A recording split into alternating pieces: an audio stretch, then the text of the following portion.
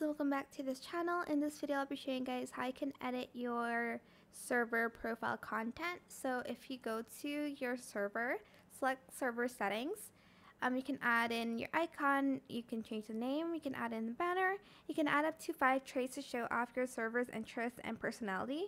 So here um, you have like you kind of have to type what it is. So I'm just going to type in, for instance, like Taylor Swift. So this is going to show up when people are looking for servers. Um, and then I'll do what else? Sabrina Carpenter. And then I'll do, um, who else do I listen to?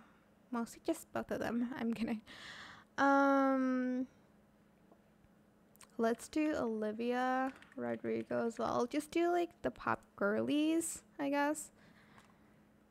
Okay, let's just do Selena Gomez. And who else should I type? Ariana? I don't know. So Taylor Swift, I'll do like a cat emoji. Or should I do guitar? I'll do cat because it's cuter. Sabrina Carpenter, I'll do like an espresso.